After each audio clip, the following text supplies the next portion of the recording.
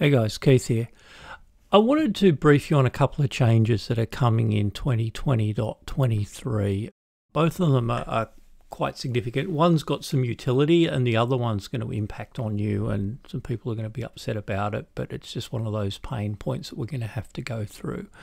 I'll touch on the first one. The first one's uh, up here. We've changed the show directory. There used to be a button on the end here for subfolders.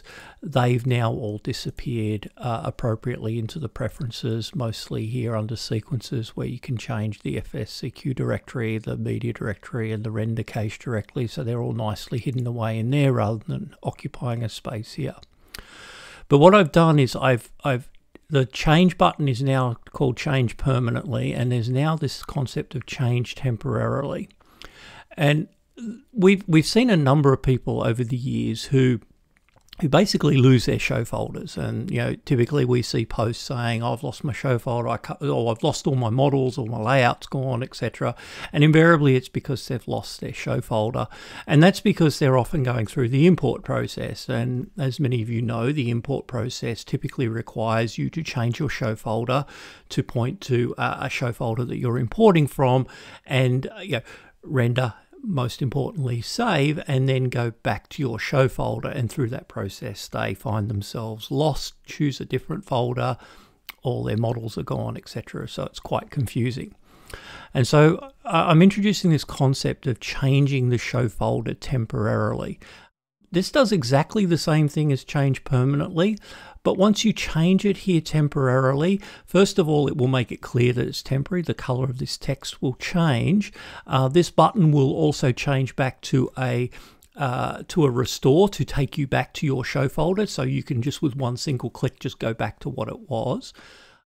And more importantly, if you close Xlights down and restart it, it will go back to being whatever your permanent show folder was. So it doesn't um, leave you uh, in this confused state and unable to get you back to your show folder. And it really is as simple as this. You click on it, you choose a show folder, here's a test one of some sort, and you can see it's changed to it and it's changed the color of the text here to a, a, sort of an orangey color which indicates that it's currently in a temporary state and there is this button here that will restore it to permanent this layout's not mine um, and if I click on restore to permanent, it goes back to my folder and my layout. So hopefully that's a lot easier for particularly new users to use when they're doing the import process and not get themselves uh, lost in terms of the show folder.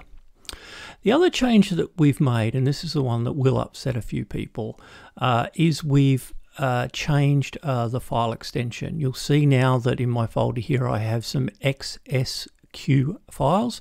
Uh, these are the new sequence files. They're no longer the animate, no longer the XML files. Uh, we're now going to be using the XSQ, uh, which is now specific to Xlights. You can see that it's actually got the Xlights icon against it.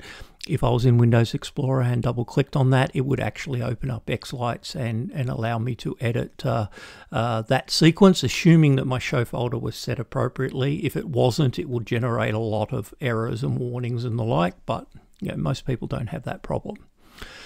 The way the conversion process will work is if I come here and open my song, right now it's showing me both XSQ files and XML files, and we will leave it that way for some time. Eventually, the Xlights files will just be the XSQ files, and then there's this other one here for old Xlights files, which will show you the XML files. So you'll always still be able to open them. It's just that over time, it by default, it we will eventually change it so it just shows the, the current formats. Uh, but we'll give it a fair while, probably a year maybe. Uh, so let's open up a sequence. So here is a sequence. Now, if I just close that sequence and don't save it, and I go back and I try to open a sequence again, you can see that Amazing Grace is still there and it's still an XML file. So that's all good.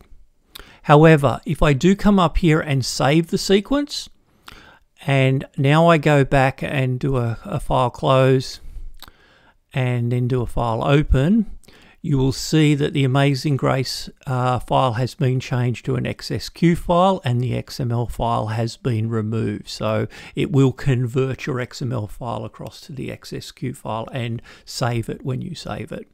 Now the file formats themselves are identical. There, there's no difference. You could actually go into your folder and rename all of these XML files to the XSQ file and it will work. Uh, we're just not doing that. We're going to let you convert them across as you change them rather than going in and just renaming them all.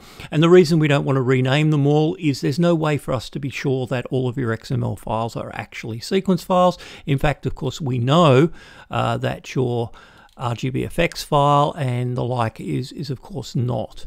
Um, and this is one of the major reasons why we do want to move to a, a proper extension. It's it's long overdue. Uh, not having the XML files means that you do end up with files in here that you can't actually open as sequences. And again, that's something that does generate some confusion that we'd like to stop. And so moving to a new uh, file extension is a, is a great way to do that. So I, I know some people get upset about that. They'll find it confusing. It'll be where did my files go? Hopefully the fact that they all show here by default will, will minimize that confusion. Uh, but you know, and I'm sure there'll be a, a, number of posts in the Facebook group from people saying what's going on, and I'm sure all of you will lean in and help and point them in the right direction um, and get people uh, up to date. The backups uh, will back up those files. Oops, I'm looking at a very old backup file there.